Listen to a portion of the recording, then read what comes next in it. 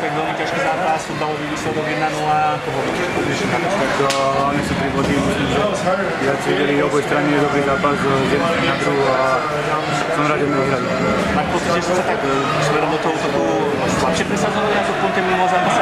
Myslím, že to mali šance, len eh, obidva týmy dobre bránili, dávali sme si veľmi pozrieť, sme nerobili chyby po bráne, takže tak sa skončil ten výsledok a Kuba veľmi dobre chytal. Pokiaľ to veľa defenzívneho výkonu si zaslúži určite pochvalu Branka Šepany.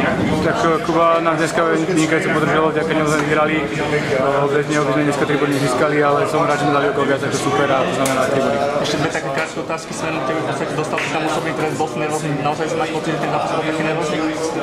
Tak uh, západol nervózne ako tam on mi dá hlavičku a ja dostanem, ako bol som bol naštvatý, ale nemal by som to robiť, uh, čo ma mrzí, ale už som bol tak vytočený na tých rozhodcov, že proste mi praskne Táto 5 zápasová séria priniesla 3 body teda pre vás, E, teraz smerujete voľno na tie Vianoce hlavne. Tak uh, hlavne musíme hrať to, čo sme hrali teraz posledné 3 zápasy doma a preniesť to na superovlad a verím, že ak budeme takto hrať, tak uh, urobíme dobrú výsledky.